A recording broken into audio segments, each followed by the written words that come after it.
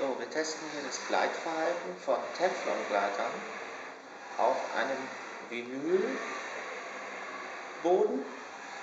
von der Firma Armstrong in Holzbodenoptik.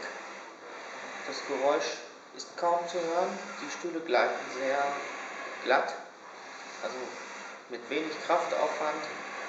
Es handelt sich hier um wahrscheinlich echte Teflongleiter, die bei den Stühlen zum Einsatz gekommen sind.